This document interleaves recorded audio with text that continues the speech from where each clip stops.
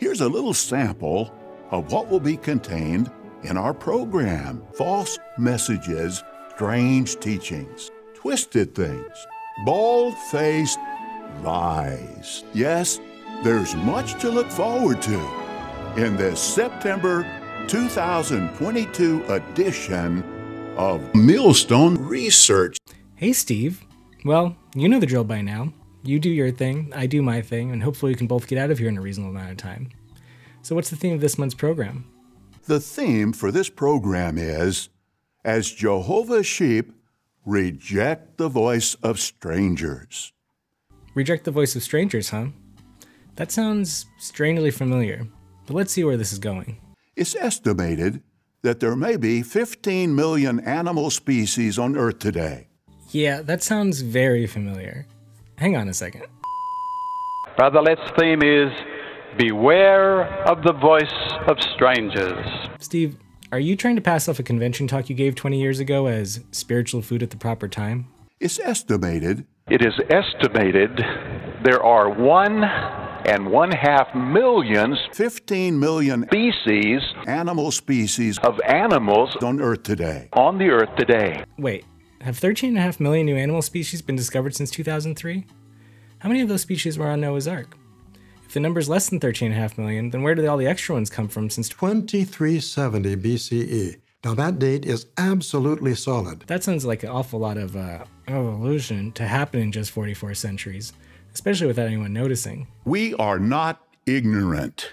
That convention outline was later adapted into a September 1st, 2004 Watchtower article, and has now, two decades later, adapted into this JW broadcasting segment. And yet you still claim that evolution is a myth.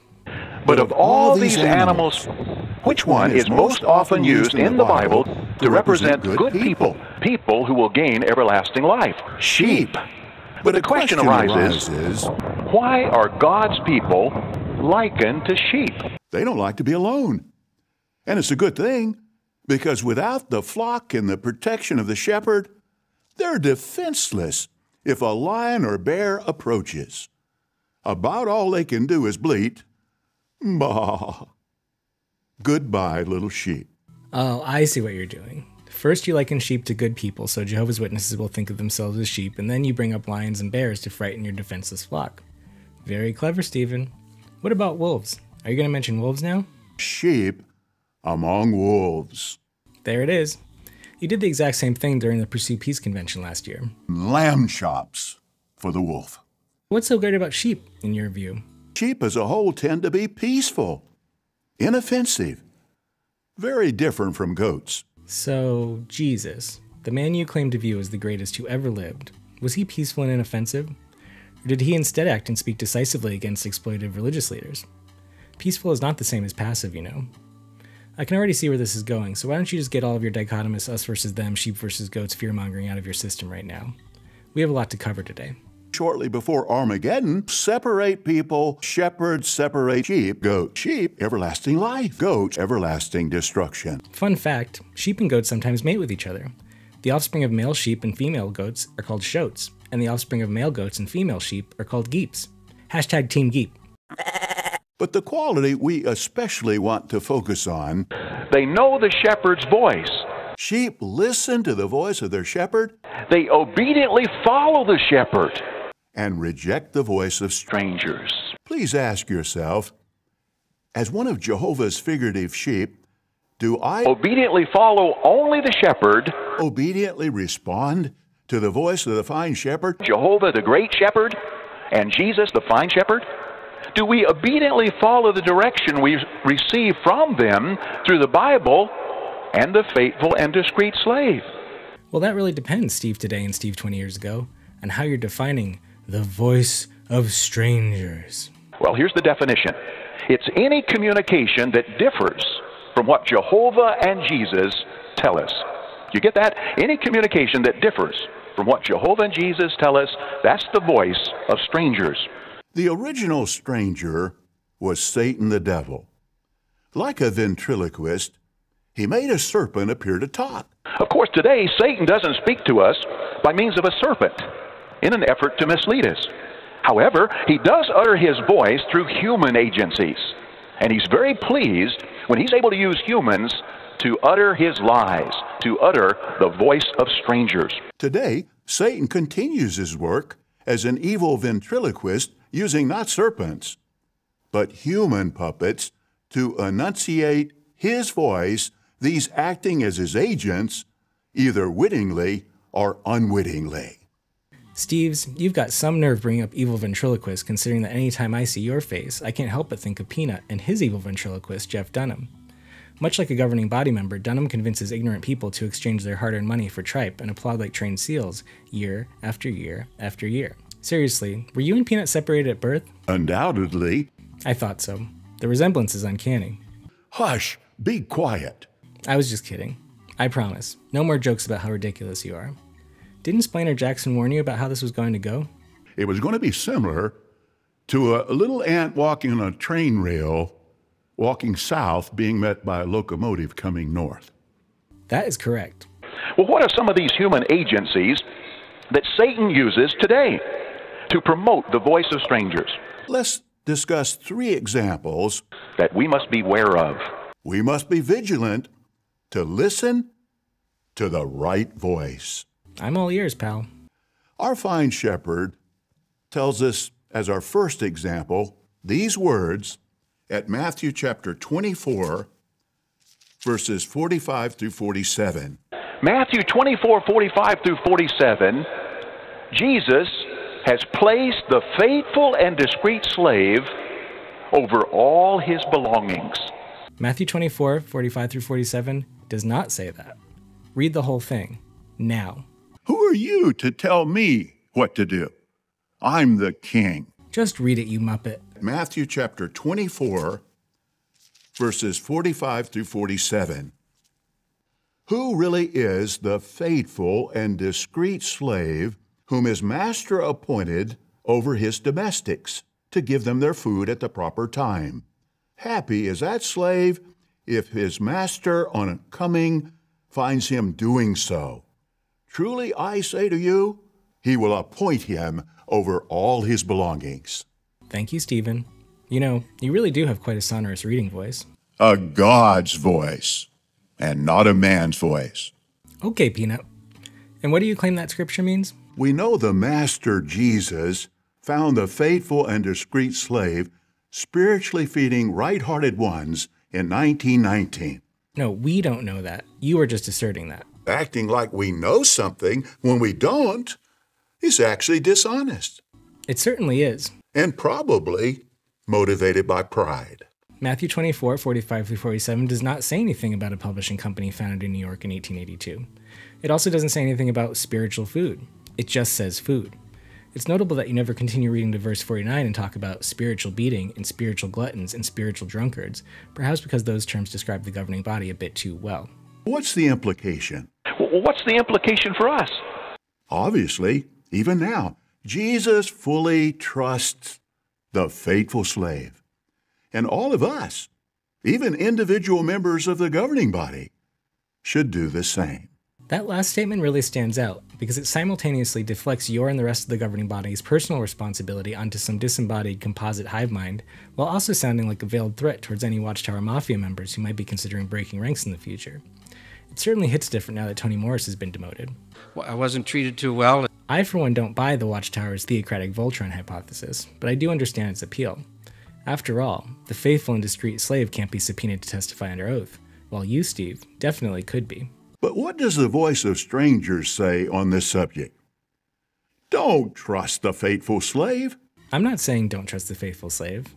I'm saying you are not the faithful slave. He will mislead you. No, no. You, Stephen Lett. You, the Watchtower Bible and Tract Society. You are misleading them, your captive con Jehovah's Witness followers, people who are my family and friends. I'm not a stranger to them. You are. Who often have the loudest voice promoting this false message? Does it by any chance start with the letter A? Apostates. Now that you've rather predictably gotten around to slurring the Watchtower Corporation's abuse survivors and spiritual paradise defectors as apostates, I will state, once again, that I am not an apostate. I understand that some former witnesses embrace the term, but I don't, on the basis that it's a trigger word arbitrarily deployed to frighten Jehovah's Witnesses, not protect them. Let's not be naive. Like in the fictional Star Wars show The Mandalorian, the eponymous protagonist Din Djarin was adopted into a criminal organization masquerading as an extremist religious group, a galactic brotherhood that requires its members to vow as children to wear a mask that they are forbidden from ever removing in public, and if they do, they are labeled apostates and expelled from their community. This is the way. This is the way. This is the way. Similarly, I was adopted into a criminal organization masquerading as an extremist religious group, a worldwide brotherhood that requires its members to make a lifelong vow as children to wear a mask that they are forbidden from ever removing in public, and if they do, they are labeled apostates and expelled from their community. This is the way. This is the way. This is the way. This is the way. This is the way. You see the echo. This is the way. This is the way. This is the way. This is the way. This is the way?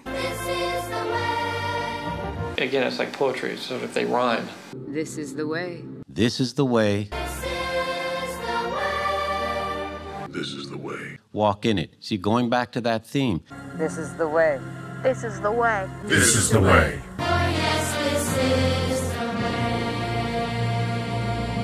Every stanza kind of rhymes with the last one. I believe that two things are required for an adult to join a cult. One, family or social trauma that the person is unaware of or in denial about, making them blind to the identical toxic dynamics found in cults. And two, ignorance of oneself, of reality, and of the cult being joined. And a sense of dependence, a deep sense of dependence. Good point, Steve. Okay, three things trauma, ignorance, and dependence, or more accurately, codependence. Because ultimately, a cult is best characterized as an artificial, emotionally enmeshed, trauma bonded, codependent, narcissistically abusive family. They will get you to bond with them. And they're smart at it. Very smart at it. Absolutely right, Tony. And things get a whole lot worse when one is born into an abusive family that is unaware of or in denial about being abusive, and are also members of a larger artificial abusive family.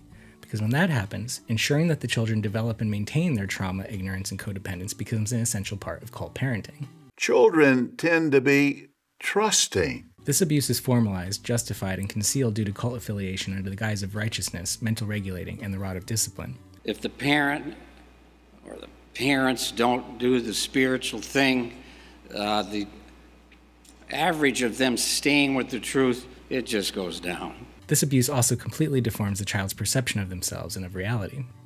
That's what happened to me, and what is happening to Jehovah's Witness children all over the world right now. You parents, do your best to package the gift of your children so that they will be useful to Jehovah. Sometimes you'll hear people say of a little baby, Look at that little angel. But more accurate would be to say, Look at that little enemy of God. Now, of course, we love that little baby, and it's not, not hopeless because we'll smash it with love. And this is what happens. With the exception of Samuel Herd and until recently Tony Morris, who both became witnesses as adults, that abusive cult parenting was experienced by every member of the governing body of Jehovah's Witnesses. That was me some years ago. Even Kenneth Cook, who was raised Mormon and is now an apostate as far as the Church of Jesus Christ of Latter day Saints is concerned. On April the 8th, 1953, I delivered my first eight minute talk on the theme Proclaiming the World's Doom. And you were baptized as a Jehovah's Witness in Queensland in 1968. That is correct. And you left school at the age of 15 and commenced pioneering work for the Jehovah's Witnesses in Tasmania, is that right? Uh, that is correct. What a blessing and a protection it was to enter the regular pioneer work at age 17 and to be able to go to Bethel at 18. I made the decision to turn down that scholarship, to give up university, and go directly into the full time service. We understand that you were both raised in the truth by your Christian parents. What helped you to come to love Jehovah and want to serve Him? Home was fertile soil for my brothers, my sister, and me to uh, grow spiritually. Uh, both of my parents were living examples of faith. Having parents that were well grounded in the truth really did make a big difference uh, to help us children choose the right path. There is only one way. So by the following year, beginning of the calendar year, I dedicated my life to Jehovah and got baptized. And so did I. So did we. Hopefully, most of you. Every Jehovah's Witness child is told that the end is coming very, very soon, and also that we need to make a choice to serve Jehovah or else be destroyed in Armageddon, which is happening, again, very, very soon. So we do. By creed, you must vow. And the words of the creed shall be forever forged in my heart. Very few slaves are allowed to choose their master. But you've done it. What we do not do, and are not encouraged to do, is consider the consequences if we ever decide that we no longer wish to be Jehovah's Witnesses. That's true of very young children who often can be easily deceived. Yes, they can, Steve. That's one of the things that parents are supposed to protect their children from. That's the reason that children cannot, in most places, marry or enter into legally binding contracts. But cult parents don't protect, they pressure. Some because they really believe it's what's best for the child, others because past a certain age, an unbaptized child makes them look bad. My wife and I raised two sons. They chose to serve Jehovah God. Uh, they make us look good. And for both the infantilized parents and parentified children, it is literally unthinkable that it might be a mistake. To openly acknowledge that would indicate a lack of faith. Nonetheless, the Watchtower approves of children being baptized at increasingly younger ages and feels no qualms about holding them to that dedication for the rest of their lives. Do you think that's fair, Stephen? Not really, if you think about it. And yet, The Watchtower, Study Edition, March 2023. Why get baptized? If you are hesitant about getting baptized, consider an illustration that Jesus used. Note that Jesus compared doing his Father's will to food. Why? Food is good for us. Jesus knew that everything that Jehovah asks us to do is good for us. Jehovah does not want us to do anything that would result in our harm. Does Jehovah's will for you include getting baptized? Yes. Then you can be confident that obeying the command to get baptized will benefit you.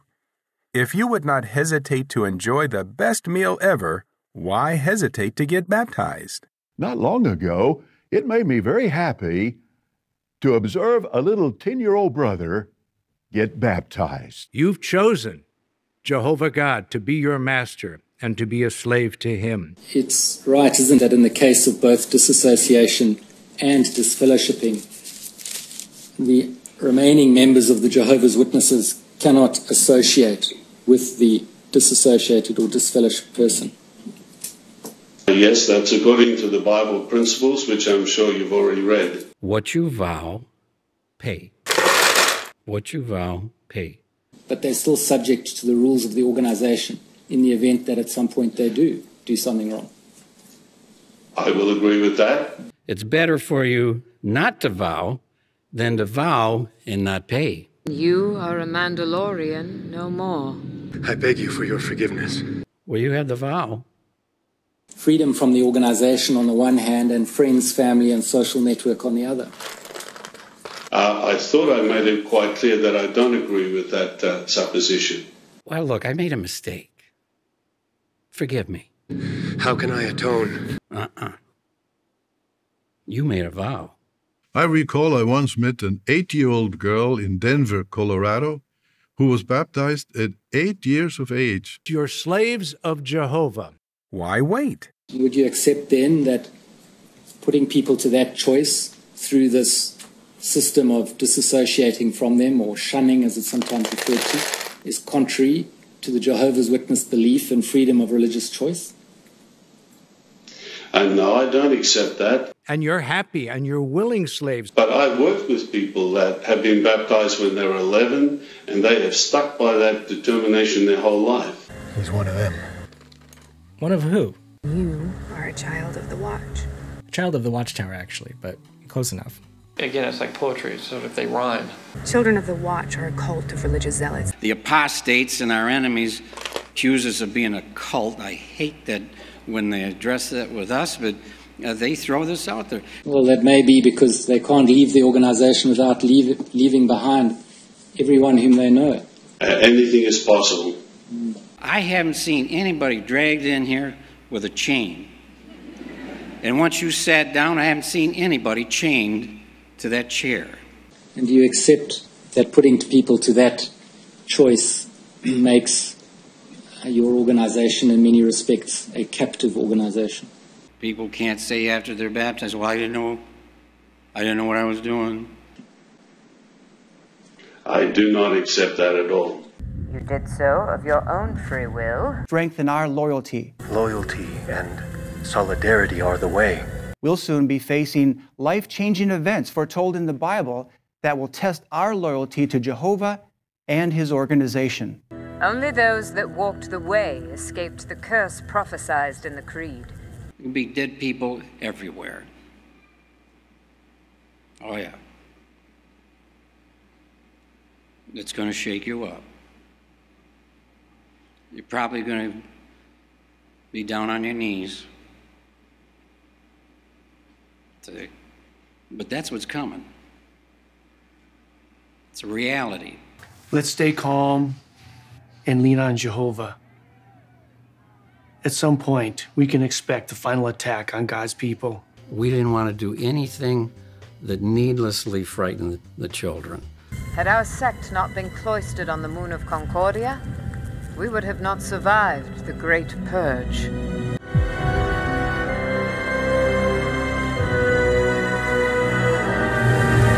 That's a cult. That's what cults do. See? So, anyway. it's a remarkable slavery, really. When Din Djarin broke his vow to the cult in order to protect a child from exploitation and torture, he was denounced by his religious leaders as apostate. Similarly, when children like myself grow up and leave, and especially when we also speak out in order to protect other children from exploitation and torture, accusing us of horrific things, we are denounced by our former religious leaders as apostate. Apostate. Apostates. Do you get that? Apostates. You were both apostates. Again, it's like poetry, so if they rhyme. After that, everything that we say is described by the Watchtower Bible and Tract Society as apostate driven lies and dishonesties. Even though Geoffrey Jackson, under oath in 2015, said Our literature has said, and we agree, that in most cases with children with child abuse, uh, they are telling the truth. That that's an established thing. Is they're not making up these stories. No, Geoffrey, we are not. There's just no end to the misinformation, the lies, uh, the falsehoods that are being spread. In any case, Star Wars, Mandalorians, and Din Djarin are fictional creations. They're imaginary, which is why it doesn't upset the actor Pablo Pascal to be called an apostate on that show. Similarly, the governing body and Jehovah's Witnesses are fictional inventions of the Watchtower Bible and Tract Society, which is why it doesn't upset me to be called an apostate on this show. It's just silly. I immigrated to Earth many years ago. I do not regret that decision. Do you have anything to say to that, Stephen? Hebrews 13:9 labels false messages as strange teachings. Yes, they are the teachings of strangers. I'm not a stranger, only estranged. And if you really want to talk about strange teachings, let's go back to what you said earlier about 1919. We know the Master Jesus found the faithful and discreet slave spiritually feeding right hearted ones in 1919. We know that? But how could that be? Since in 1919, the Watchtower was teaching that Charles Taze Russell was the faithful and discreet slave, and the Watchtower's governing body wouldn't exist for another 50 years. The Watchtower was certainly feeding people something, but what was it? 1919, the slave is appointed.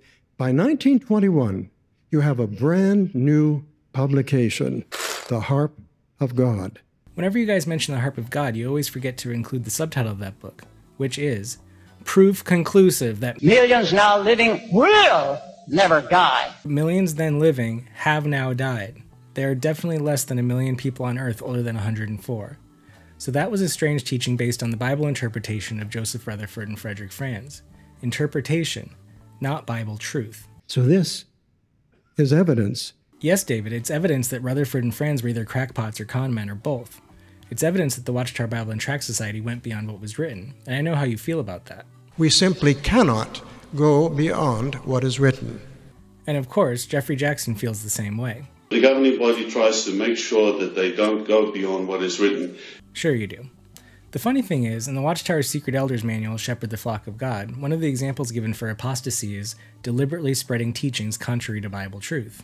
Do you realize that before the Harp of God went out of print, almost 6 million copies in 22 languages had been circulated?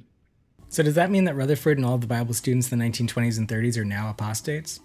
After all, they deliberately spread teachings contrary to Bible truth. No, it does not mean that. Is David Splane an apostate for proclaiming the world's doom when he was eight years old back in the 50s? Mm-mm. No.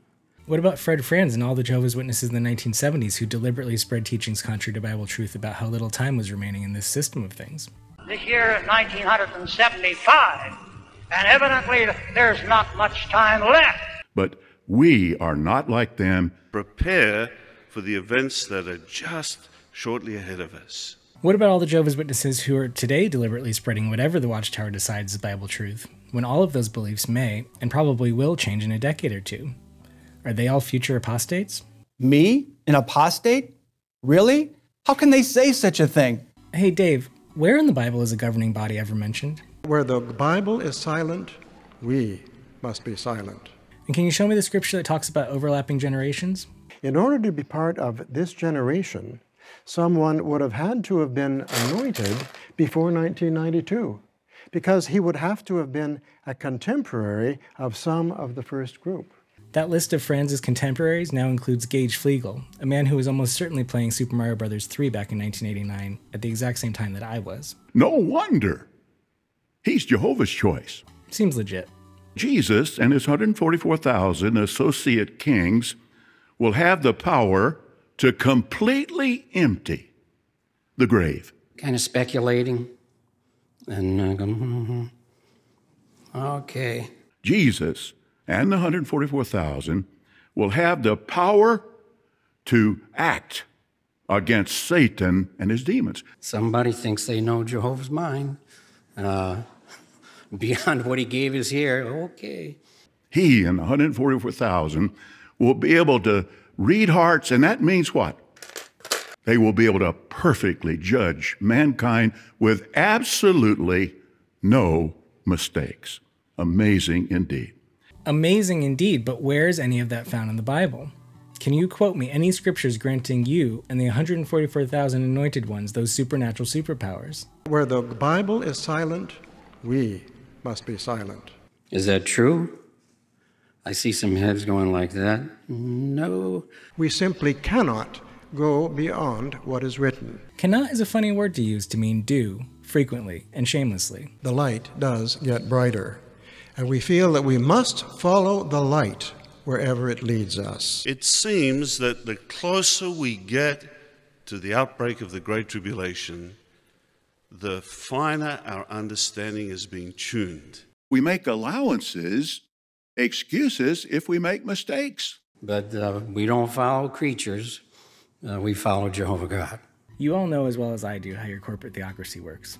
Geoffrey explained it under oath when he told Angus Stewart what the governing body is and does. A, a group, a spiritual group of men who are the guardians of our doctrine. And as guardians of the doctrine, uh, look at things that need to be decided based on our doctrines, which are based on the constitution of the Bible. The definitive interpretation of the Bible from time to time is the governing body. Is that right? Uh, ultimately, as guardians of, of, our doctrine and beliefs, uh, yes, uh, some central group needs to make that decision. However, when not under oath, you all tell Jehovah's Witnesses a very different story. We're not driving the chariot. Jehovah is driving the chariot, and we're running just as fast as you are trying to keep up. What I'm about to reveal to you today, Jehovah is behind it. Not the governing body, not any human here on the earth, but Jehovah God. Jehovah directs this organization, period. The anointed are not the head of our organization. Jesus is. Jesus is the one in charge. And we hope all parents today raising children will teach them that fact. I bet you do, Sam, but the point that I'm making here is that the most important Jehovah's Witness belief by far is what Steve said earlier that in 1919, Jesus himself selected particular people to rule other people's lives, beliefs, and behaviors, and that currently, those people are you. If that isn't true, then you have no authority. Without that authority, you have no religion, and without the religion, you have no business. We can be loyal to Jehovah by being loyal to the faithful and discreet slave, the governing body. Jesus implicitly trusts the faithful and discreet slave. We owe our loyalty to that slave. We should trust the faithful and discreet slave. Prove ourselves faithful to the faithful and discreet slave. Jehovah watches how we display submission and loyalty to his organization. Loyalty to Jehovah and to the governing body. Essentially, you use your Bible like a silver dildo to screw Jehovah's Witnesses slow and hard, decade after decade after decade. The most crucial thing for every Jehovah's Witness to do is reconcile themselves to your psychological and emotional violations. The way we listen to and obey the faithful slave has a direct bearing on the strength of our friendship with God. In fact, it means our very life. An obedient elder readily submits to what the scriptures say and to direction from God's organization. Life saving direction that we receive from Jehovah's organization may not have seemed logical from a human standpoint. It defies logic from a human standpoint. From a human standpoint. Do you think the brothers who write Watchtower articles are living in the real world? Uh, far from it. All of us today, all of us, need to see the cloud. Must be ready to obey any instructions we may receive. Being obedient and submissive to those taking the lead is much more important than how something is done. Learn obedience, submissiveness, and how to follow direction. Whether these appear sound from a strategic or human standpoint or not. You know that Jehovah, not the imperfect men that he's using, is in total control. And to being slaves to the interpretations, demands, and whims of the Watchtower regime. Although what you like to call that unnatural and unchristian imposition is loyal love. Another Watchtower misnomer. Loyalty, not to God, not to Jesus, but to you. May we never find ourselves fighting against Jehovah by murmuring or complaining against those who he has appointed to lead his people today. Is it the case that the governing body then appoints new members of the governing body?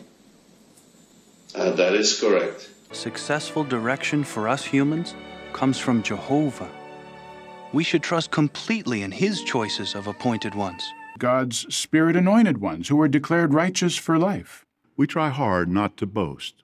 So now is the time. The time is now. Now is the time. As the Great Tribulation nears. As we get closer to the Great Tribulation. So, as things move ahead toward the Great Tribulation, we must not allow ourselves to be fooled. Follow closely the lead of the faithful slave. We have to obey and not ask, why did they make that decision? Gideon did not try to second guess the direction. He just followed it. Our survival will depend on our readiness to respond to their direction. Don't see the men that Jehovah's using. See the cloud. That's really the whole religion, if one can call it that, in a nutshell. And this brings us back to child baptism, because the 14th question that every Jehovah's Witness has to answer before being approved for baptism is Do you believe that the governing body of Jehovah's Witnesses is the faithful and discreet slave appointed by Jesus? And since the Watchtower also teaches that dedication by baptism is required to survive Armageddon, you all have, quite literally, placed yourselves in the way of Christian salvation by claiming to be the way to Christian salvation. Disgusting. Amen to that. Anyhow, did you have any examples of uh, my strange teachings? Some examples of their strange teachings are that the faithful slave protects pedophiles, or that slave will exploit you so they can live lives of luxury. We love the serene setting here at our world headquarters on Blue Lake in New York State. At times, the water is as smooth as a mirror. We occasionally see eagles and hawks fly by. And in the fall of the year, when the leaves change colors, the forest can look spectacular. However, we cannot take our beautiful peace for granted. Hundreds, maybe thousands of slaves who catered to his every desire. It's not maintained automatically. I'm going to take that second strange teaching about Watchtower exploiting Jehovah's Witnesses first, but I'm not going to mention donations. We in no way want to be categorized with other organizations, religious and otherwise, that coerce their supporters to donate. However, and I'm not going to mention all the free labor you receive for your theocratic construction projects. At times, it's hard to get them to go home for the night. They just want to stay and continue to work because they see the amount of work that needs to be done. Instead, I'm going to play a short clip and then ask a simple question. You may want to get a pen or something to write this down. Are you ready?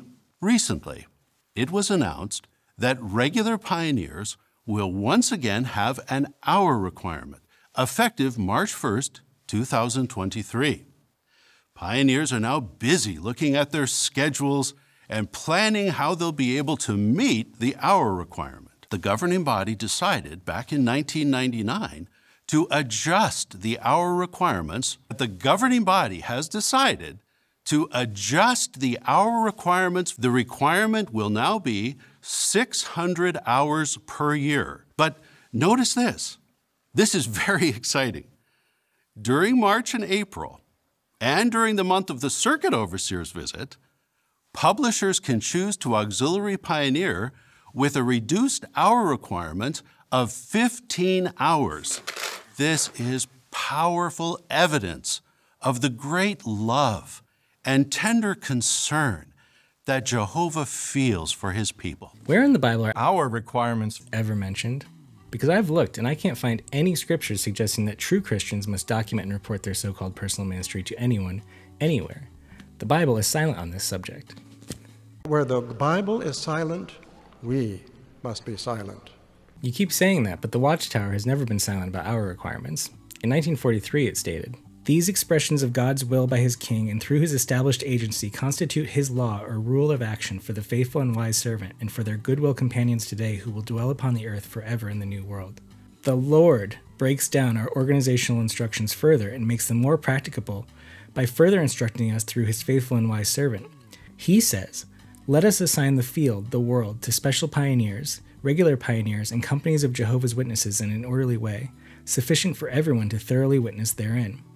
And let us place upon each one the responsibility of caring for the New World's interests in these respective assignments. He says the requirements for special pioneers shall be 175 hours and 50 back calls per month, which should develop into a reasonable number of studies, and for regular pioneers 150 hours and as many back calls and studies as can be properly developed during that time. Interesting that Jesus should mention this.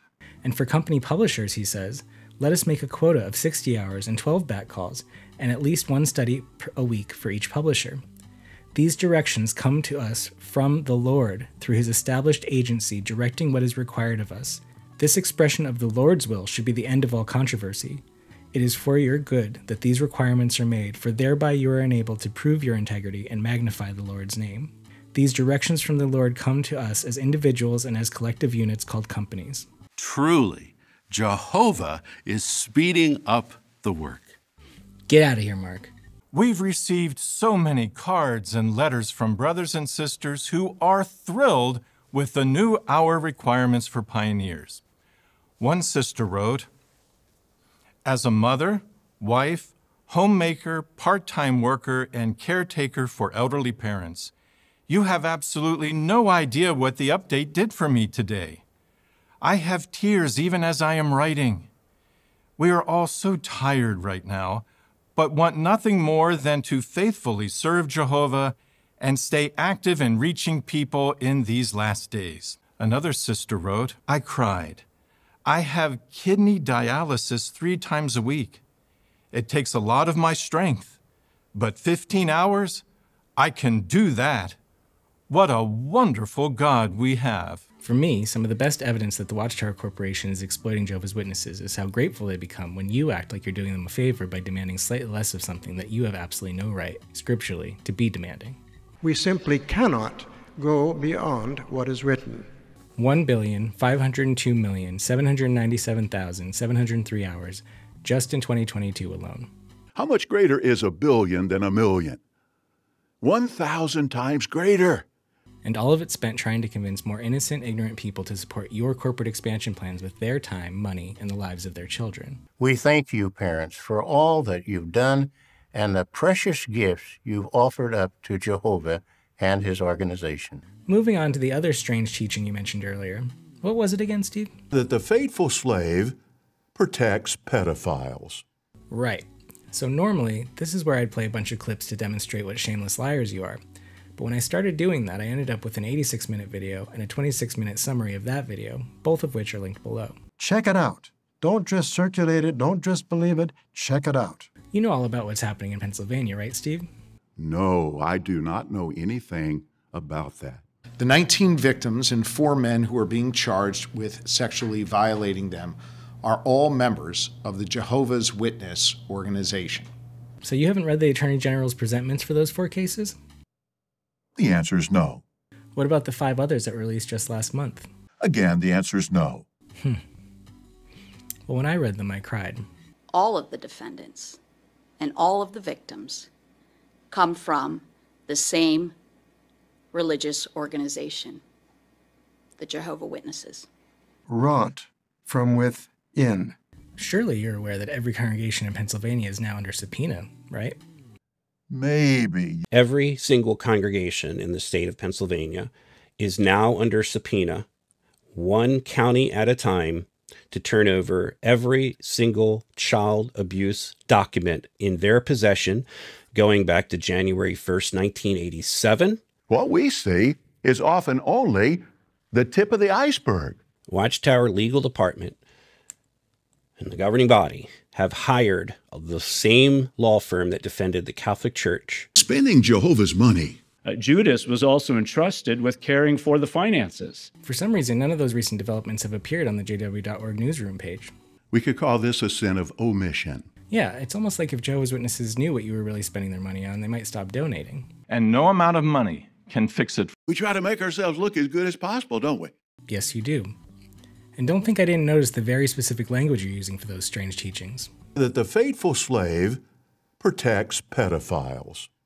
Or that slave will exploit you. No former Jehovah's Witness or so called apostate would ever say the faithful slave protects pedophiles, because obviously they do not agree that the Watchtower's governing body is the faithful and discreet slave. Stating things that way is a rhetorical trick meant to stop Jehovah's Witnesses' brains from thinking thoughts that might undermine your authority in their captivity. Essentially, it's a cognitive dissonance grenade. Ka boom. That the so called faithful slave does protect pedophiles and has for decades is unthinkable to a JW, because if the governing body of Jehovah's Witnesses protects pedophiles, then clearly they are not the faithful slave. But you must reject reality and dismiss your victim stories, because if you honestly acknowledge that Jehovah's organization is permissive to pedophiles, then how could it really be Jehovah's organization? That does not make sense. The answer to that question leads mentally captive Jehovah's Witnesses to an emotional crossroads that most of them aren't prepared to deal with. A dilemma, a quandary. Because it exposes them to threats of scapegoating, expulsion, shunning, and the sudden and total loss of their family, friends, and identities. Hang on a second. Am I in a cult? The answer is obvious, isn't it? So, does the faithful slave protect pedophiles? No, because the faithful slave is a concept, not a person. You, Stephen, you, along with other members of the governing body and assorted watchtower leaders, lawyers, and lackeys, you, in your role as guardians of doctrine, as well as through the direction you provide to the writing, teaching, service, and legal committees, your global network of branch committees, and congregation elders following the legal advice of the Watchtower Bible and Tract Society, you all protect pedophiles and exploit Jehovah's Witnesses all over the world. And what do you have to say to that? Bald faced lies. Just keep saying it. 2 Peter 2 3 says, They will greedily exploit you with, with counterfeit, counterfeit words. words. A counterfeit is something that's carefully, carefully designed, designed, to look, like, like the real thing. thing. Take, for, uh, for example, example, counterfeit, money. It might look genuine, but it's fake and thus worthless. I think it's fair to point out that for the last 40 minutes or so, and for dozens of hours on this channel, most of the words being spoken are by you and your cronies. Watchtower leaders lying, Watchtower lawyers lying, and Watchtower lackeys lying. I don't dispute that this channel is full of counterfeit words, but they're your words, not mine. This is because the Watchtower Corporation loves counterfeit words and could not exist without them. New light is invariably new lies replacing old lies. You, who print the publications, call yourselves the faithful slave, even though it is Jehovah's Witness publishers who faithfully slave for you. My personal favorite example you use the word spiritual every time you mean imaginary. Want to see what I mean? It is going to be an absolute affirmative no. Well, that's just too bad. Jehovah has allowed you a very special privilege. You can see the unseen. Not all people can do that. Few things bring more joy to our heart than meditating on what Jehovah is doing for us now and what he will do in the near future. Do you take time to contemplate what that future will be like? Think about what Jehovah has already done. Think about the spiritual blessings we enjoy now. Think about the blessings we enjoy now Picture that wonderful time yet ahead. and the ones we will enjoy in the future. Think about the overwhelming joy we will feel when Jehovah resurrects our loved ones. Envision the secure future that lies ahead. Imagine. Imagine, imagine, imagine the peace that we'll enjoy in paradise. And imagine what our lives will be like in the future. Imagine what we will experience in the near future. Spiritual food. Spiritual food. Spiritual food. Spiritual food. Spiritual food. Spiritually nourishing. Spiritual provisions. Spiritual home we have now. Spiritual fulfillment. Spiritual security. Spiritually prosperous. Spiritual senses. Spiritual vision. Spiritual strength in a spiritual sense. Spiritual healing. Spiritual healing. Spiritual healing. Jehovah has healed us spiritually. We are confident that this is going to happen. Let's keep in mind that these spiritual blessings are evidence that all the promises of the great healer will come true. If you lack sufficient material things now, take delight in meditating on future kingdom blessings. Meditate on it to strengthen your faith. Meditate on that. Can you see yourself there? Imagine what we will look back on at the 1000th or 1 millionth anniversary of Kingdom Rule. Imagine to live not only for a thousand years, but for a million years, for 10 million years, for 100 million years, for 100 billion years, and so on. The past 100 years helps us to appreciate that God's kingdom is real. This will be real. These promises are real. You can take them to the bank. They're not counterfeit, they're completely true. If it sounds too good to be true, it probably is. What a beautiful song. Please believe it. You will not be disappointed. You will not be disappointed. I don't think so. Thoughts? If we're deceived into accepting the counterfeit words of apostates, we'll lose Our childhoods, We'll lose our faith, We'll lose our time, We'll lose educational or career goals, We'll lose our ability to make decisions in our own best interests. We'll lose our life. Those two. The threat of death is a powerful weapon. And if we leave or ever speak out about what we've lost, We'll lose our families and friends. and apostates will give us absolutely nothing of value in exchange. Really? Because I believe that mental, emotional, and physical emancipation from tyranny of any stripe, along with spiritual sobriety, is extremely valuable. Well, no doubt you do. You know, this conversation is getting kind of long. Would you like to stop here or keep going? Keep going. Steve, you doing okay? Uh, I'm okay. Uh, I've got this. No pressure, Steve. Okay, partner. Let's dance. What's the next voice of strangers that we must be aware of? We must be careful about believing everything presented in the media about Jehovah's organization.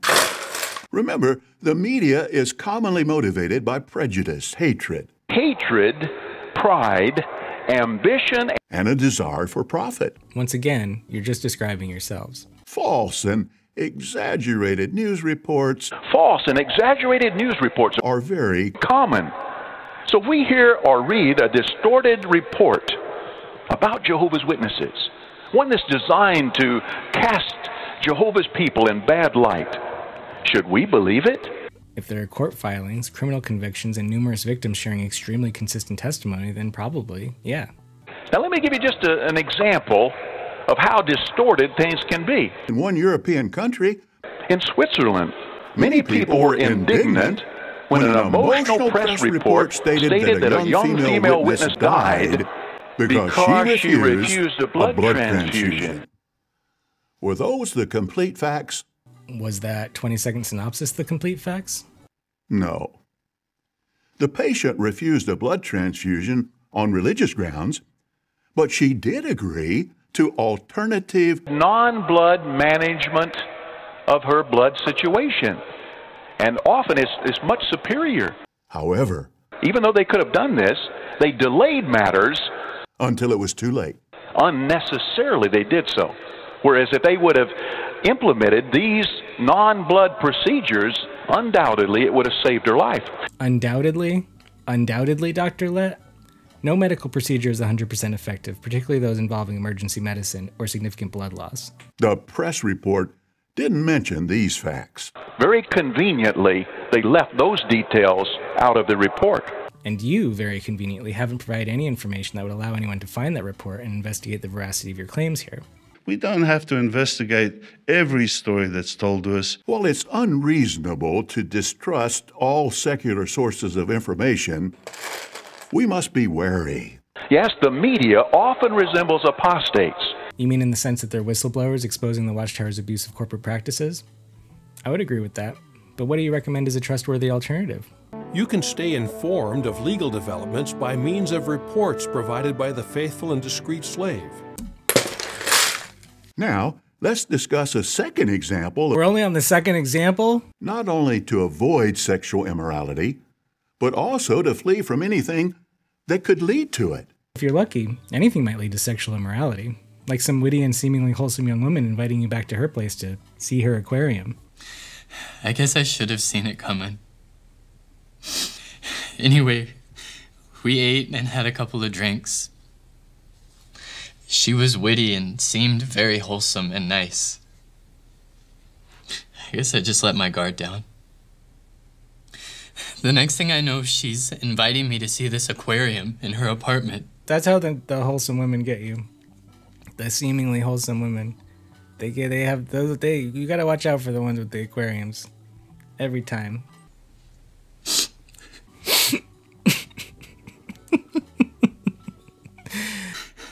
I wonder how many times she's used that line. In order to make sexual immorality appear more innocent, it's often euphemized. Sexual perversion, such as homosexuality, is called an alternative lifestyle.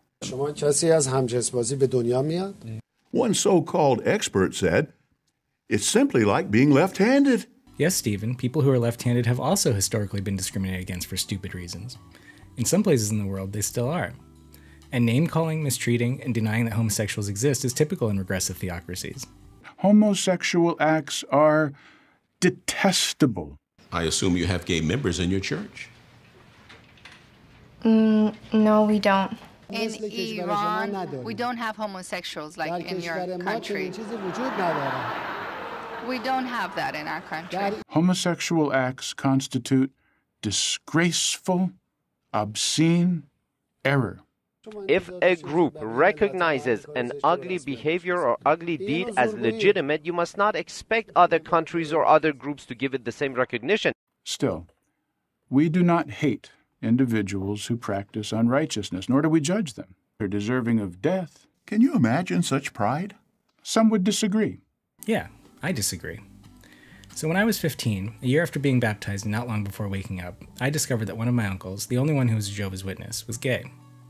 And due to years of exposure to Watchtower's bigotry and indoctrination, I feared that my uncle would be destroyed when Armageddon arrived, very, very soon, maybe tomorrow.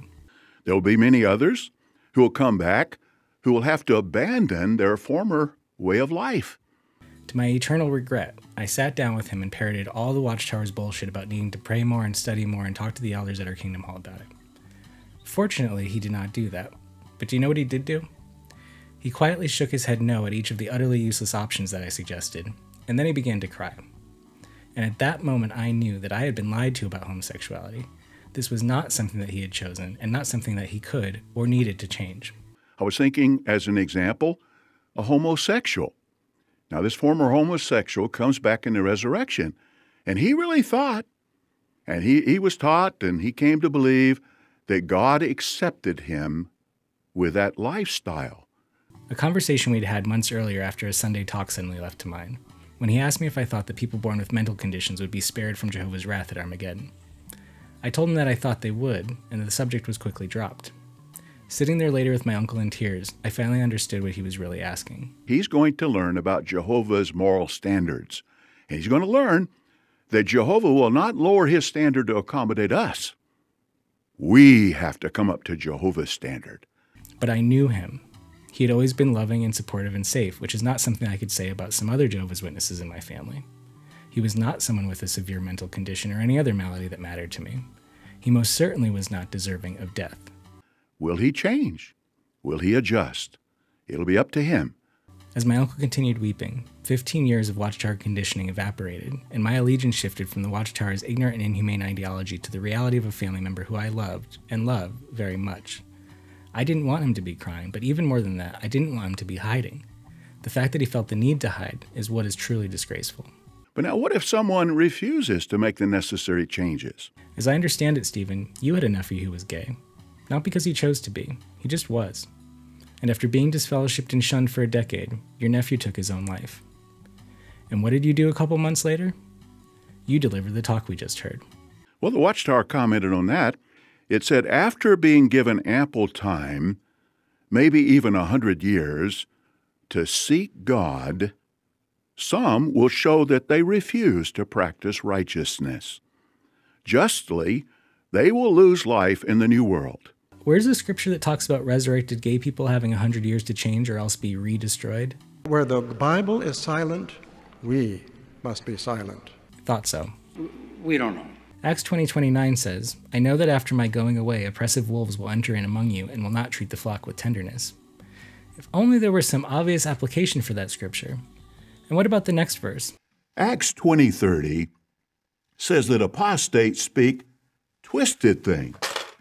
They do this in order to draw God's sheep away and make them followers of themselves.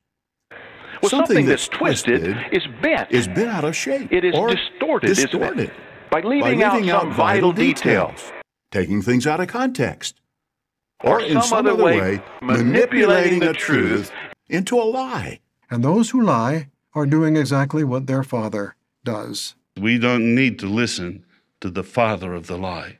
I wouldn't, but you just keep talking. What's the voice of strangers of Satan's world telling us regarding divorce, adultery, and other forms of sexual immorality? Any particular reason you're lumping divorce in with adultery and sexual immorality? So easily, we can forget that Jehovah and Jesus hate adultery and unscriptural divorce. Unscriptural divorce. It often leads to immoral conduct it certainly leads to a troubled conscience, emotional damage, and of course, a loss of privileges. For example, in a movie, a female character might be portrayed as having a husband who is abusive. You like the woman, and you, you want her to find happiness. Then a handsome man starts working in her office, and he's so nice to her. There's an attraction between them and the budding romance is presented as something good. Soft background music makes it hard to consider her course to be bad. And now it becomes clear that unscriptural divorce is a Watchtower euphemism for sisters escaping abusive marriages. Before you dispute that, I'd like to read you paragraph 9 of the December 2018 Watchtower article, Honor What God Has Yoked Together. Significantly, Jesus did not say that a mate's immorality, porneia, must absolutely lead to divorce. For example, a wife might choose to maintain the marriage despite her husband's having been immoral. She might still love him, she might be willing to forgive him and work with him to improve their marriage. Realistically, if she got a divorce but did not remarry, she would face challenges. What of her material and sexual needs? What about loneliness? Are there children to consider? Would a divorce make it hard to raise them in the truth? Clearly, the divorced innocent one would face serious issues. You know who that sounds like to me? A cheating, abusive husband who's doing his best to convince his partner to stay with him. Jesus didn't say you have to divorce me. You're going to face challenges. You won't be able to support yourself without me. No one's going to love you. You'll be lonely. What about the children? You're setting a bad example. People in the congregational talk. There are going to be serious issues. Except that that wasn't written by an abusive husband. Or maybe it was. It was written by an abusive corporation with a long history of subjugating women and encouraging them to stay in abusive marriages. Throughout human history, women have been subjected to injustice, violence, and abuse. Why is that? Well, Ralph, it's for the exact same reasons that so many Jehovah's Witness women are subjected to injustice, violence, and abuse. A combination of insecure, emotionally dysregulated men, widespread social and institutional misogyny, religious justifications normalizing that misogyny, and a culture of fearful silence that keeps the abuse out of public view. Jehovah places the husband as head of the family. A wife remembers, as an example, that her husband is her divinely constituted head. And she doesn't chafe under that arrangement. She's happy to work with that arrangement that Jehovah has set. A husband is head of his wife. So that means the husband makes final decisions for the family. The opposite of submission isn't headship, it's dominance. Male dominance. Christian wives, are you happy? Do you love being a wife? Well, probably right now you're looking at your husband and saying, Of course. But now, what does it mean to love your husband? Well, you should cooperate with him. That's what it means. You should cooperate but never compete. See, that takes humility. And there's a lot of groups in today's world that would have our sisters believe to be in subjection to a man is belittling. It's demeaning. Uh, there's groups like Women's Lib. Uh, one brother called it Women's Lip, L-I-P instead of L-I-B, you know. Just change a letter there. See, there's groups like that say, don't let any man tell you what to do. Get out there and compete with men, including your husband. Don't let any man tell you, you you're, you're uh, just as good or better than men. See, and, and that's the attitude they try to promote. But now if our sisters listen to that, what would happen? They would lose that subjection to their husband. The Bible says that she should have. You would recognize if you truly love your husband that you're not equipped mentally, emotionally, and physically or somatically for the role of competition. You would never pit your mind against it. Not if you truly love your husband. Well, what about the role of a wife? The role of women in uh, the Jehovah's Witness religion is a very dignified role. Uh, we, we don't uh, make women, well, we certainly do not want women to feel like second rate citizens. Jehovah placed the woman under the headship of the man, and as such, her role is to be in subjection to him. And that's the Bible arrangement. Uh, not because of any lack of intelligence or lack of ability on the part of women. You know, scientists say that the cranial capacity of a woman is 10% smaller than that of a man. Uh, primarily, in a physical sense, we husbands have an advantage. So now this shows that she's just not equipped for the role of headship. Her role is one of subjection to the man. Yeah. Clearly, Jehovah has always highly valued women. A wife needs to be careful that she doesn't show impatience by her words or tone. Women are respected in Iran. Or the husband is trying to give some direction, and the wife corrects or challenges the direction.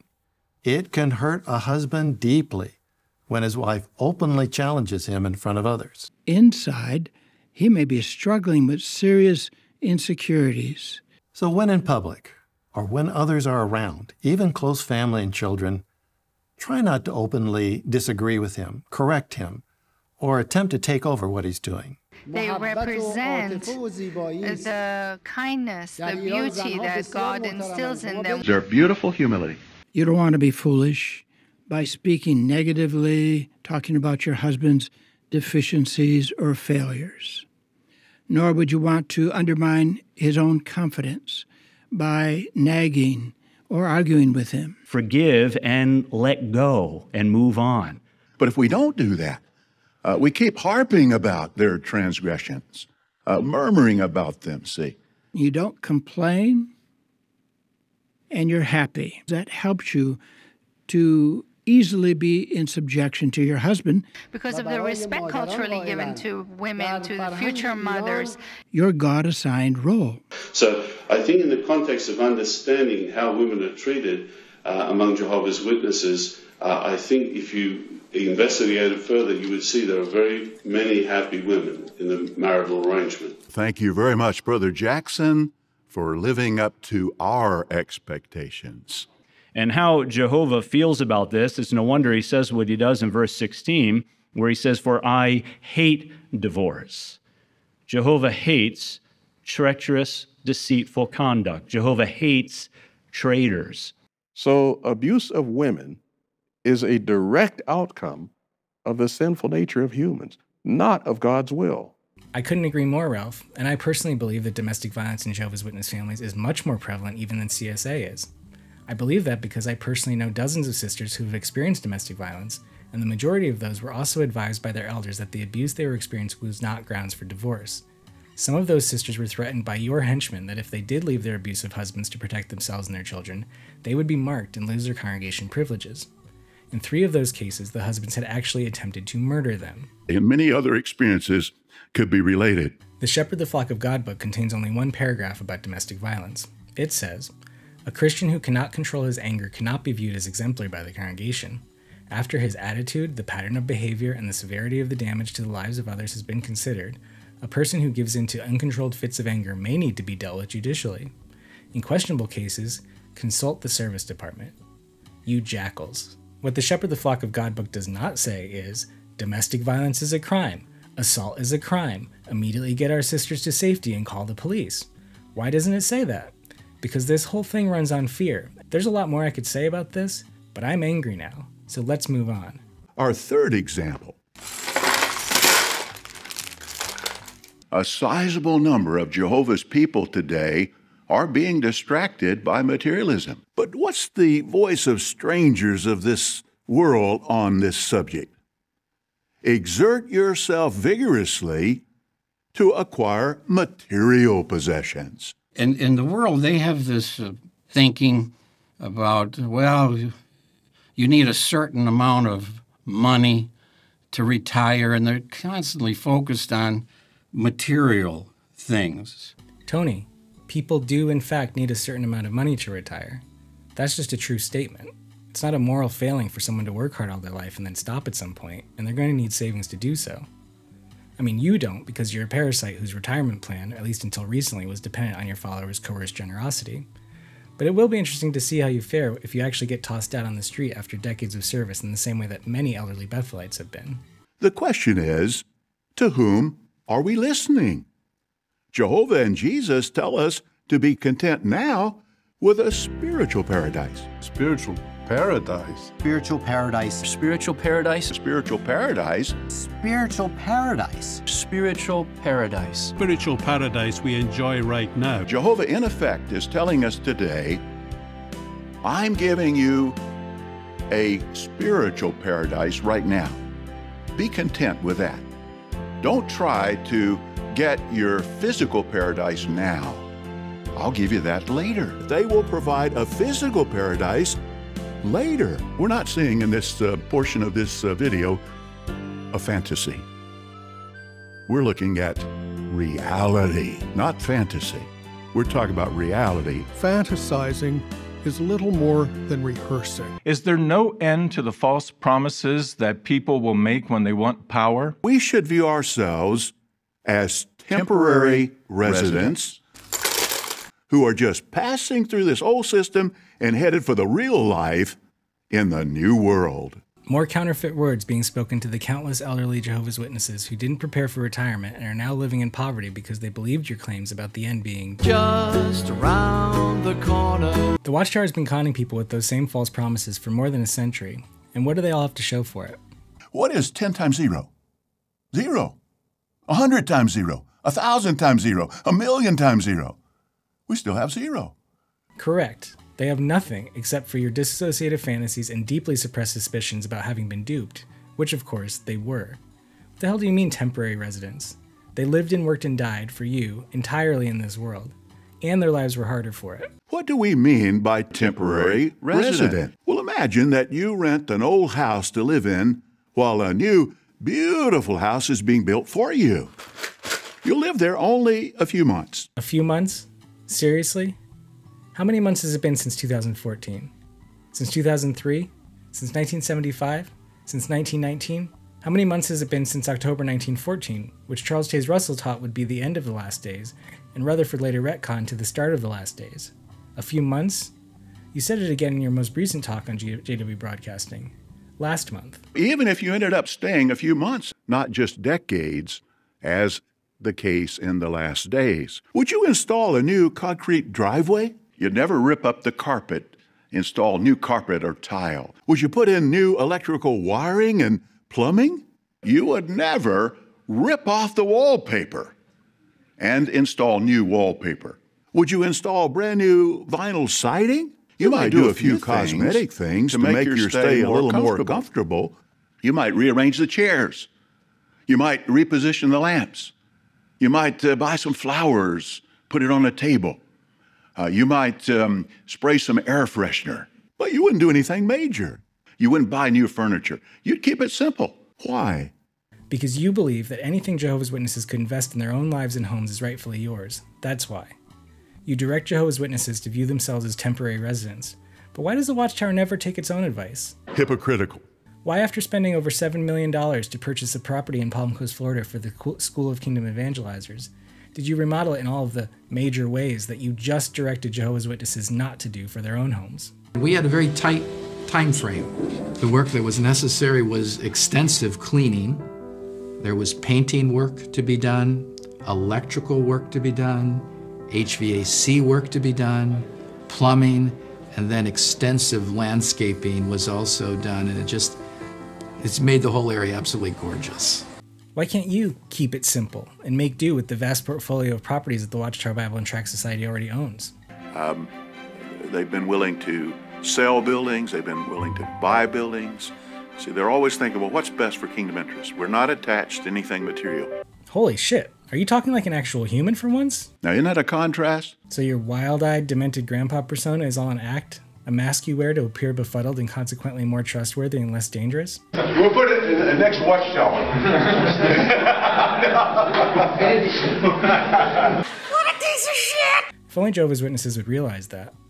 If only Jehovah's Witnesses would realize a lot of things. You know, you're just a temporary resident, and that soon you'll move into your beautiful new home. So we keep it simple. We're temporary residents in this old system. And it's real protection, especially if you didn't know exactly when you're going to have to check out. And this is especially true when thinking about where we, we find ourselves in the stream of time, knowing that the great day of Jehovah is near in the near future, in the final part of the final part of the last days Undoubtedly. Undoubtedly. Undoubtedly. Undoubtedly. Undoubtedly. Undoubtedly. Undoubtedly. No doubt about it. Undoubtedly. Unquestionably. Unquestionably. It may well be. It could well be. In fact, certainly, for a certainty, evidently, uh, apparently, apparently, obviously, and likely, soon, soon. We don't know exactly when, but you know it's soon. The final part of the final part of the last days. Shortly before the final part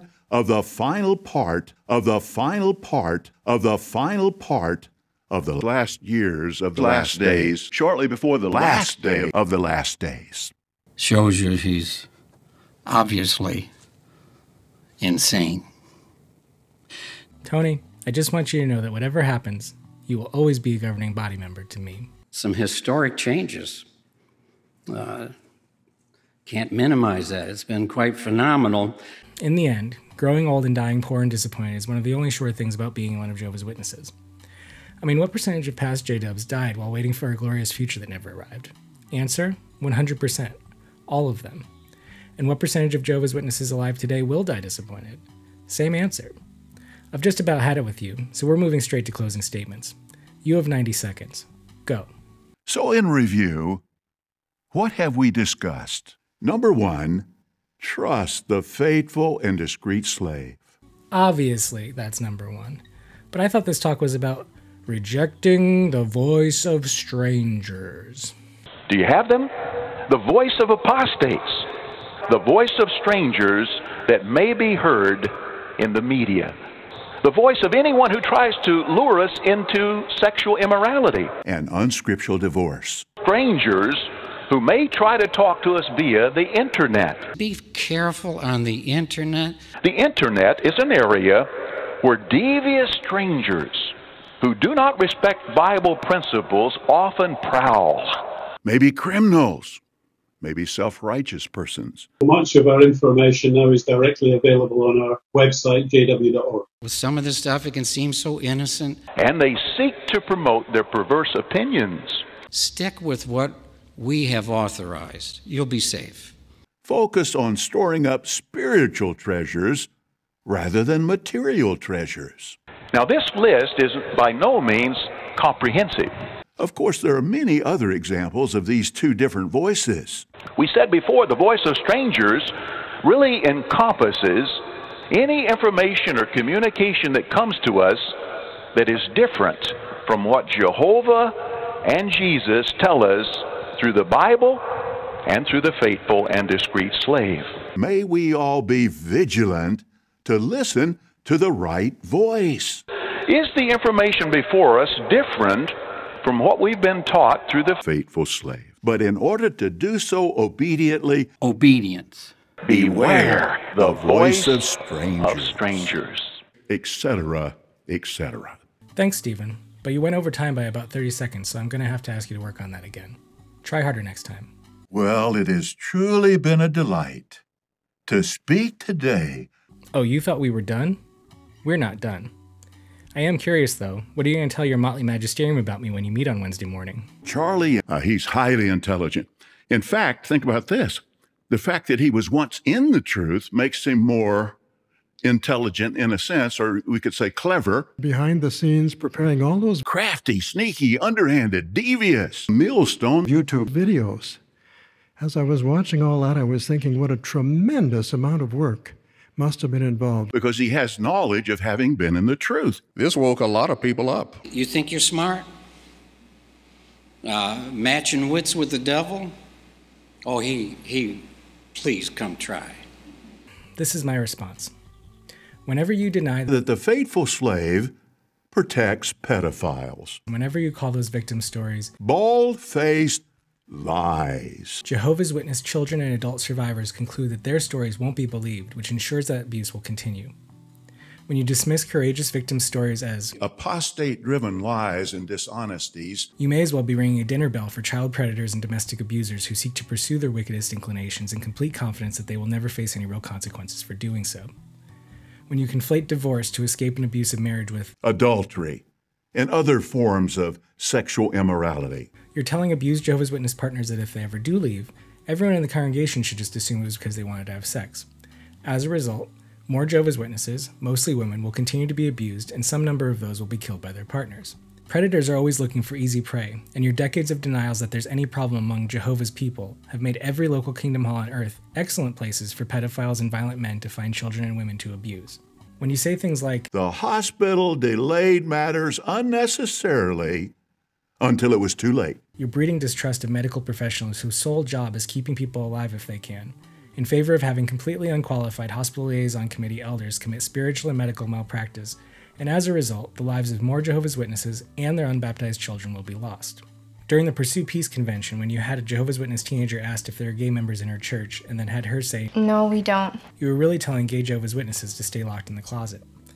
And when you tell emotionally vulnerable Jehovah's Witnesses that they are deserving of death, some of them are going to take their own lives, some quickly, and some slowly with drugs and alcohol. You look at your hands now, uh, only God, as He looks at your hands in here and all those that are tied in, does he see blood there?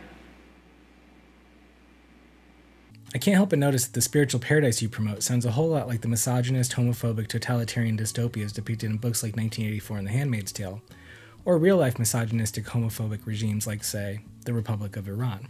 The political system must be revamped. One government will rule the entire earth. All human governments will be gone. Can you imagine the escalation of crime and evil that would take place there? We don't need to imagine it, Stephen. We've lived it. And you know what the common thread is? All of those governments are regressive theocratic bullies hell bent on controlling every aspect of their citizens' lives. At the order of Jehovah, God let you stay here because He's going to decide where everybody lives. Suppose you love the country, but you're assigned to live in a city. Well, you can learn to love the city and at the order of Jehovah. How are spiritual families when it comes to dress and grooming? And at the order of Jehovah. Whatever you're given to do in the new world is going to be a blessing. And at the order of Jehovah, we're willing to forego our so called personal rights. Do we find ourselves wanting to defend our personal rights? If exercising personal rights would uh, be a negative toward oneness. This is a theocracy, characteristic of earthly humans, a collection of man made decisions who are alienated from God, governed at the order of the criminals trying to get away. Interesting.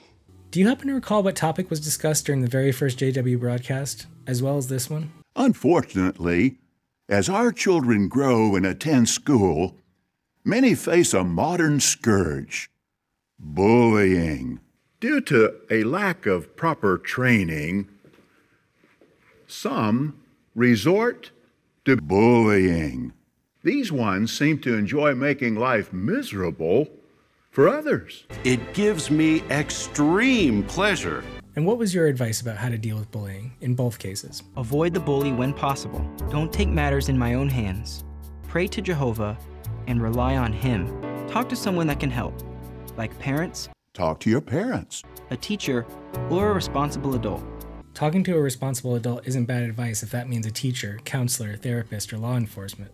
But unfortunately for Jehovah's Witness children, any parent who raises their kids in the Watchtower's toxic imaginary kingdom is not a responsible adult. The November 1999 Kingdom Ministry asked these questions Would you invite a stranger into your home without first finding out who he is? If I was there in your home with you, how would you answer? What if there was no way to find out?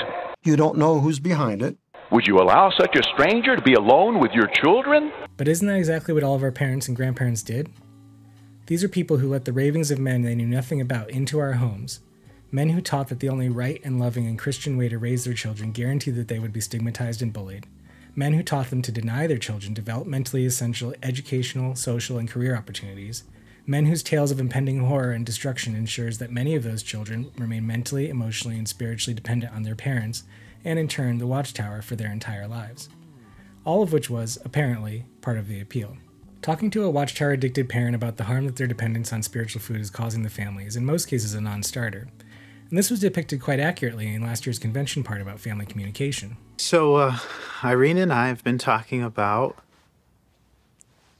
communication in our family. It isn't that what you're doing on your devices is wrong. Exactly, but could it be taking time away from more important things?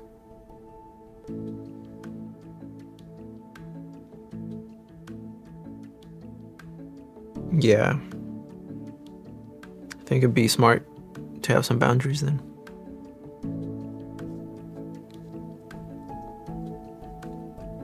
Yeah, okay. Okay. Okay. Smile and nod, kids. Smile and nod.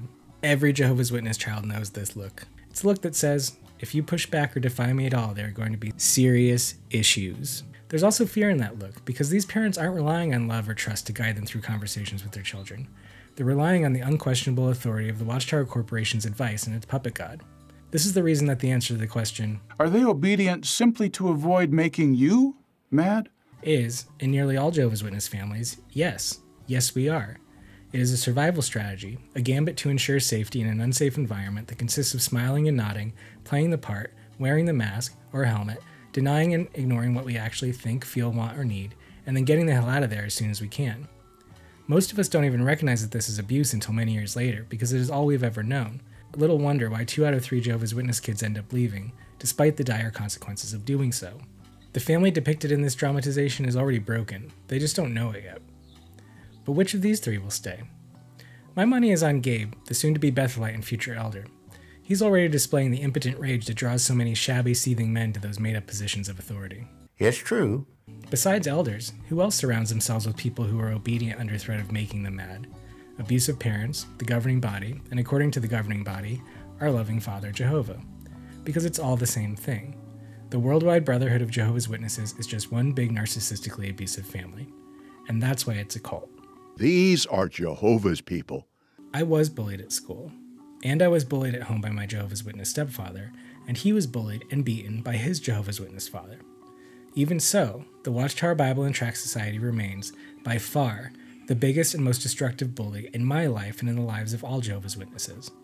We all know what it's like to be afraid all the time. Controlled anxiety can actually be beneficial. Do you know what actually works against bullies?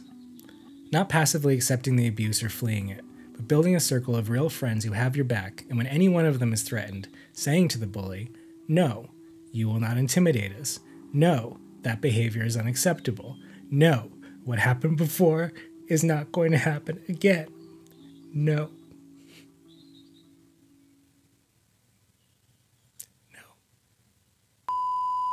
But the Watchtower wants Jehovah's Witness children isolated, afraid, and passive in the face of mistreatment, because then they will grow up to be isolated, afraid, and passive Jehovah's Witness adults. I just wish I had some kid friends. Jehovah wants you and me to have friends. But the question you need to ask yourself is who should be my friend? So, Sophia, what do you think Jehovah is teaching you about friendship? That I have to choose my friends carefully. And how can you know if someone should be your friend? If they help me be Jehovah's friend. I am not gonna join the club. That's my girl. We are so proud of you, Sophia. And Jehovah is proud of you too. A few years ago, when I was beginning this project, I found that whenever I was about to sit down in front of the camera and actually say the words I had written about the Watchtower's abuse of me, my family, and all Jehovah's Witnesses, my nervous system would plummet out of my window of tolerance into a freeze response known in psychotherapy as hypoarousal, for hours or for days.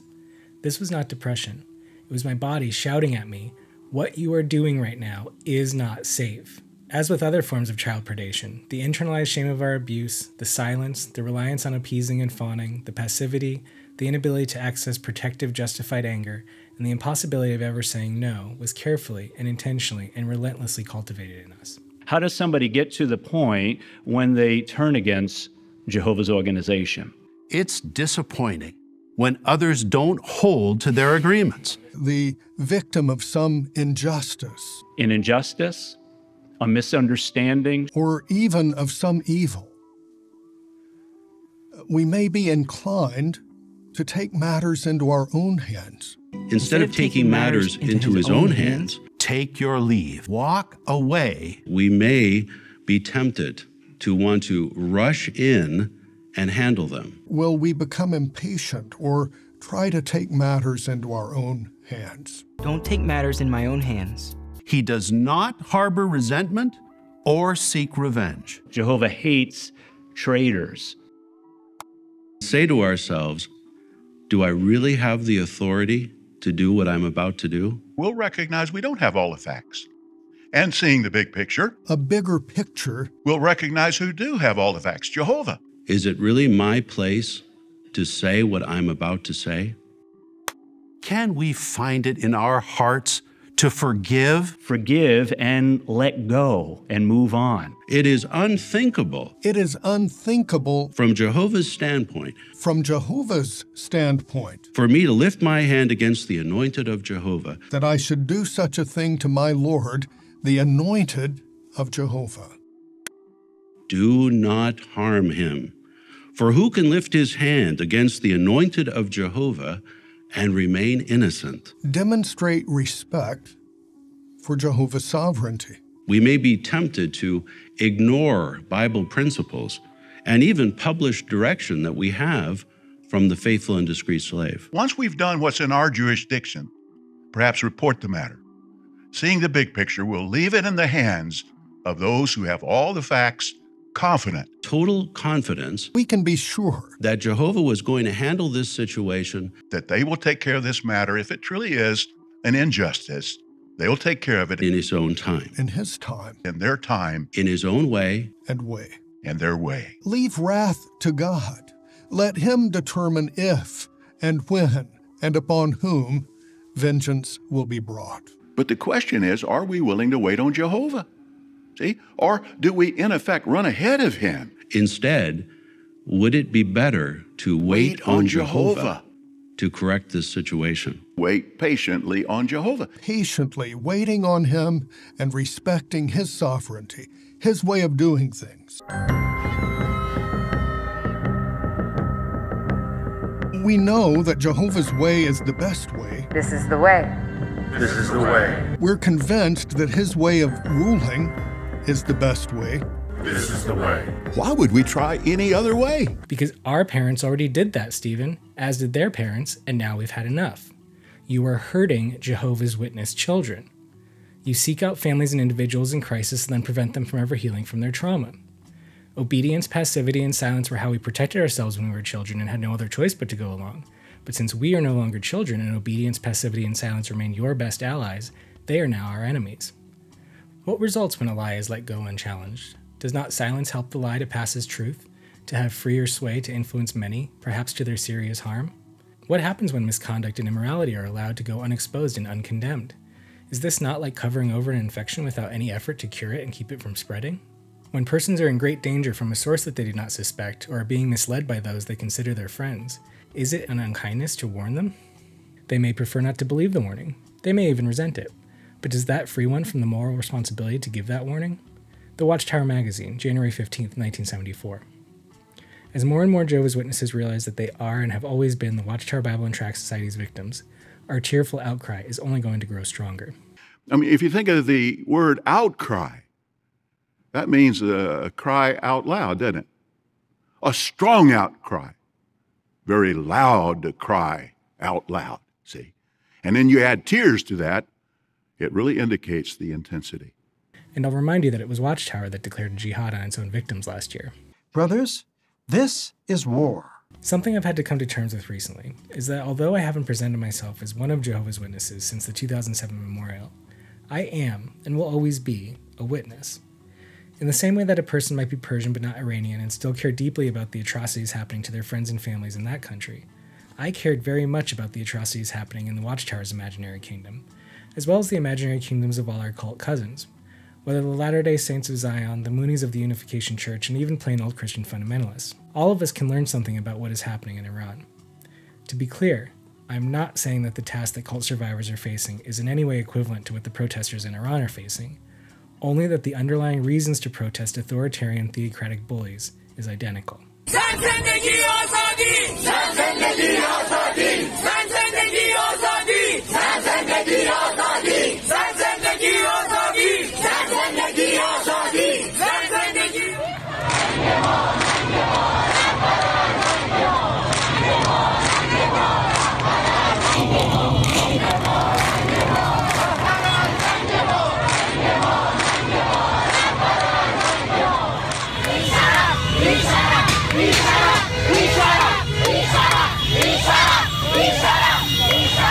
No reasonable person would suggest that those protesting the Iranian government's brutality towards women and girls are doing so because the protesters hate women and girls. Likewise, those of us speaking out against the Watchtower's corrupt regime are not doing so because we hate Jehovah's Witnesses, but rather because we love them. Watchtower criticism is Jehovah's Witness advocacy. So, on behalf of myself, my wonderful partner, my Jehovah's Witness mother, my hilarious and irreplaceable siblings, their dead father, my dead aunt, two of my uncles, three of my grandparents, dozens of my friends, millions of Jehovah's Witness children being denied educational and career opportunities because they'll never grow old in the system, millions of elderly witnesses reaching the close of their lives destitute and disappointed because they were promised that they would never grow old in this system, everyone who has lost their families to a pipe dream sold by a fraudulent publishing company, all of the Jehovah's Witness partners who spent years or decades in horrifically abusive marriages so as not to be marked or reproved for their unscriptural divorces, all of the LGBTJWs who are regularly warned to change or die, and all of us whose vicious mental, emotional, physical, and sexual abuse has long been and is still being concealed and then blithely denied by you and at least five overlapping generations of wicked men just like you. Fuck you, Stephen. Oh my!